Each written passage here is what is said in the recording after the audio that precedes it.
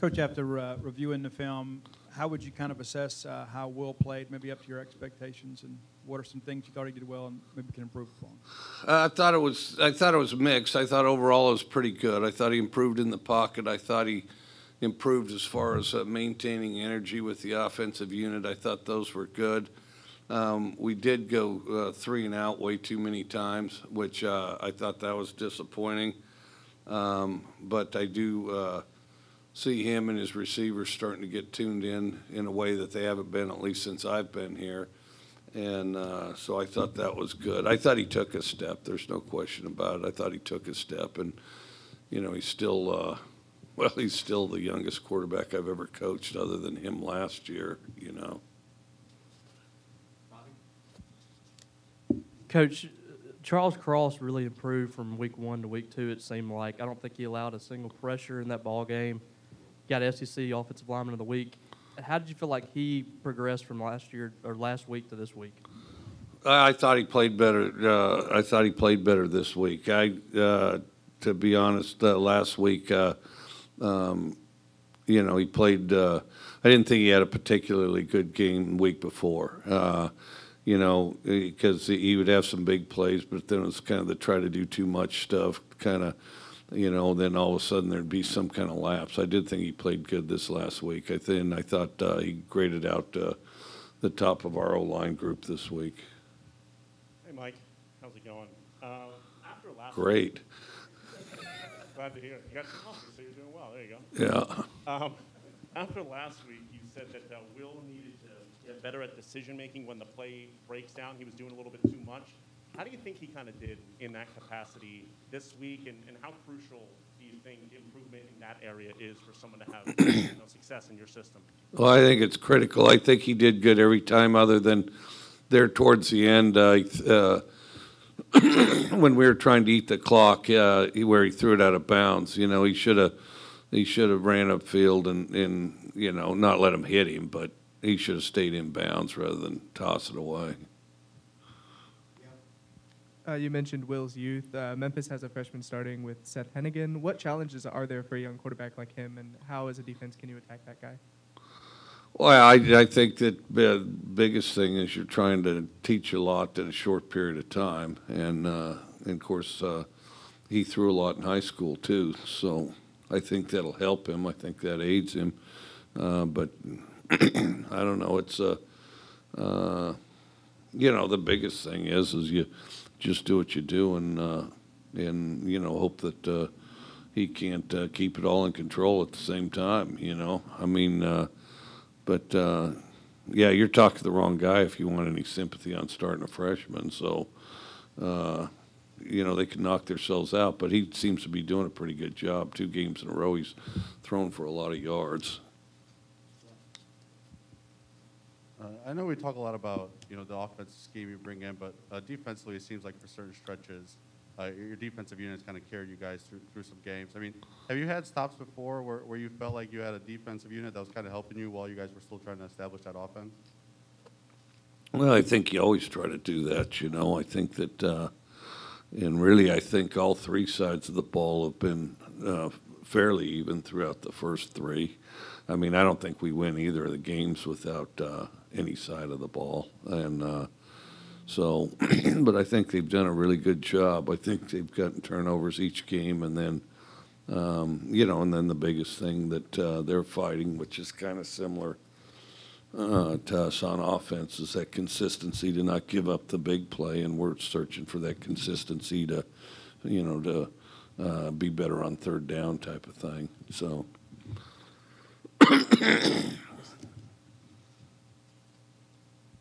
Uh, Going back to that fourth and seven call, the decision to go for it last game, what do you tell Will Rogers in that situation? How much do you think just the decision to go for it in that situation is a testament uh, to the philosophy of this offense? uh, well, the, I don't know. I'm, I mean, that uh, question suggests more credit than me or Will combined probably deserve, but. Uh, you know, I mean, so you're in there closer to the goal line. If you punt it and it goes in the end zone, all you've really gained is uh, 15 yards, and then, uh, or I'm not sure where we were exactly, but I think we were on the, the plus 40, and then, or somewhere in there, and then um, the odds of making it, I did think we'd make it. Um, uh, and now, if, uh, and, you know, we'd had those hitches on the outside, but to, to be honest, they weren't as open uh, on that particular play. So he threw it behind Makai, and Makai, you know, which we do it every day in practice, but he made a good play on the ball. Um, but, uh, you know, I mean, if you ask Will, we're going to go for it all the time. So, um, uh, you know, I hear him out of the, I, I hear him out of the corner of my ear, so to speak, but uh, then evaluate it and kind of do whatever I want. But um, that was the biggest thing, you know, the, the combination of do you think you can get it? Um, the other would be uh, uh, what do you give up if uh, you don't get it? And then, uh, and then the other is just my probably personal flaws along with our teams of uh, um, feeling like a failure if we don't uh, go in and score. So, you know, we wanted another crack at it, really.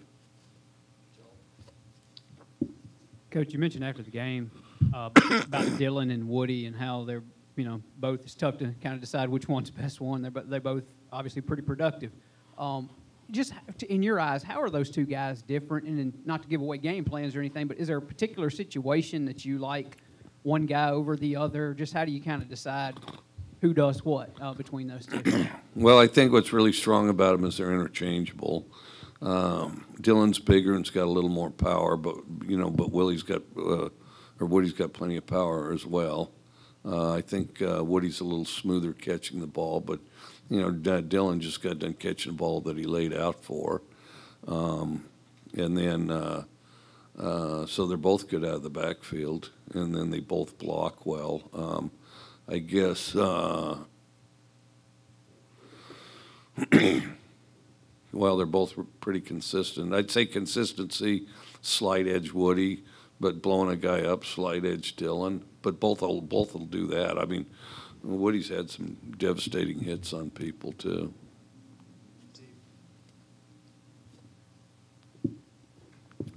Coach, I don't know how far you're along in your film review, but what have you seen from the Memphis defense, and have you had any experiences at the Liberty Bowl before?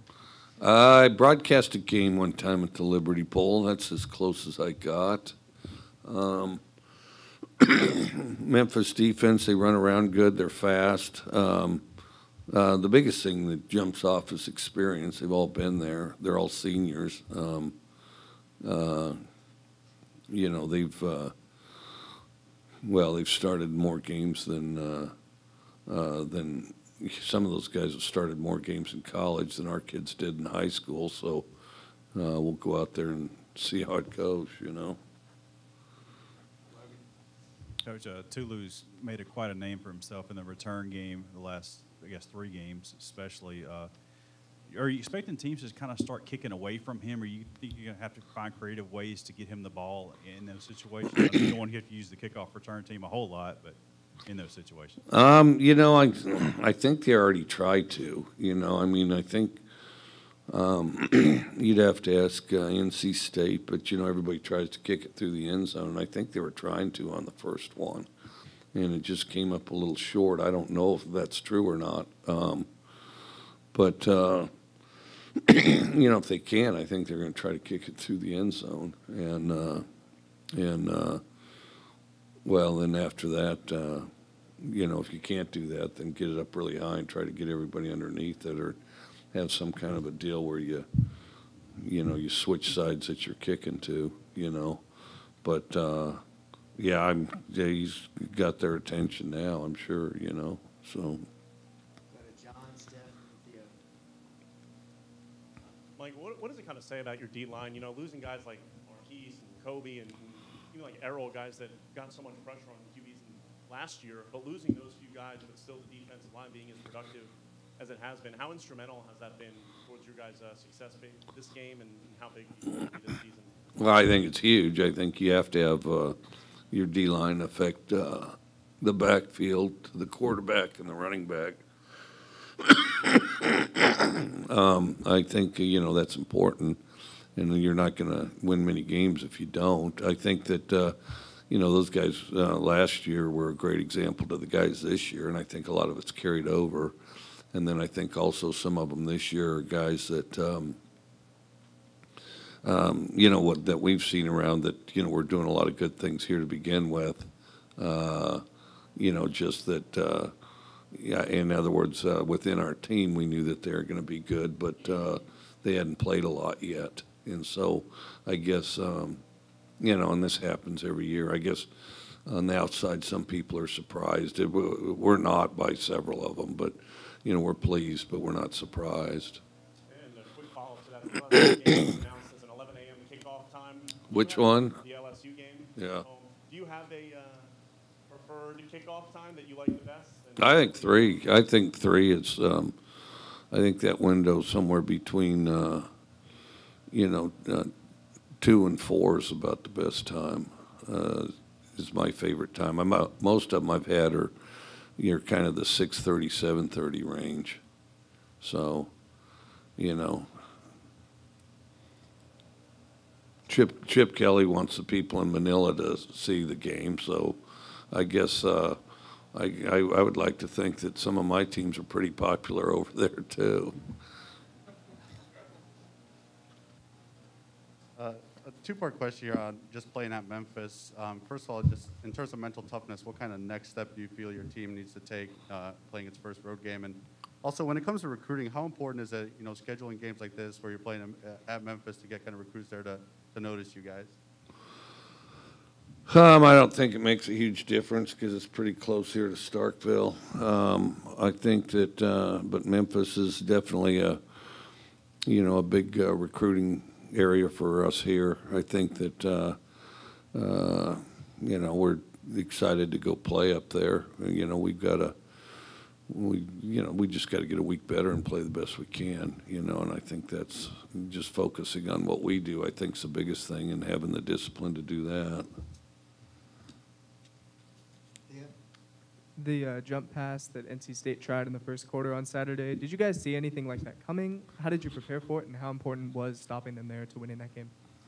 I don't know if they'd seen anything there before. Uh, the uh, you know you were kind of on alert with with the guy when they came out in Wildcat, and then um, so just the fact that it's Wildcat alone means that watch out there may be a trick behind it. And then uh, you know we got our hands up and he had to take it up higher than he wanted to, and we got the ball. I mean it was I, I would say, you know, we, we were kind of alert for something, you know, out of the ordinary just because it was um, Wildcat. And then I thought we responded well to it. Then after that, I think it was kind of reaction.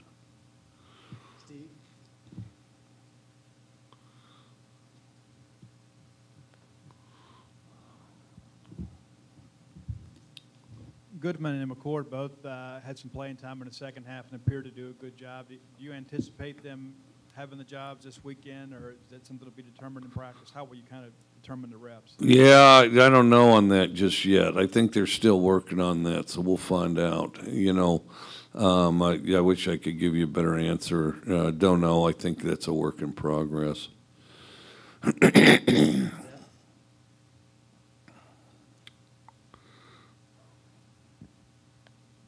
Uh, With Malik Heath, you talked a little bit just, you know, the consistency in his technique and stuff that he has to show in practice. I mean, have you seen So who's this? I, uh, you're all muffled up there. So, so Sorry. Uh, with Malik Heath, kind of his uh, consistency and, and technique and stuff, how do you kind of make sure that he continues with that throughout practice with every rep and that maybe he's not taking a rep or two off? I, that's a constant battle, I think, and then I think that also competition, the competition around him, I think, is uh, probably uh, maybe creating, I hope, creating a higher level of focus with regard to that, and that competition's coming from uh, Rara and Tulu, you know. Last one, we'll finish with Steve.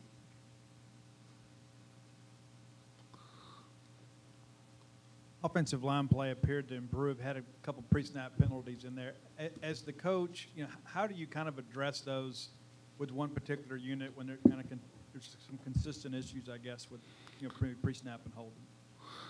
Yeah, the, yeah, the, you know, the holding, you just have to keep your hands inside. And then, uh, uh, the pre-snap really was communication. I, we just have to communicate better, you know, I, the one we jumped and the, you know, everybody moved but the center. You know, we kinda had a deal, it was gonna go on, on, uh, one or whatever, and he held it, you know? And then, then others It's just, you know, the discipline to sit in there. You know, everybody's anxious to get a quick start. And, uh, you know, part of it's just experience, you know, we got a pretty young group and we gotta, you know, keep getting better.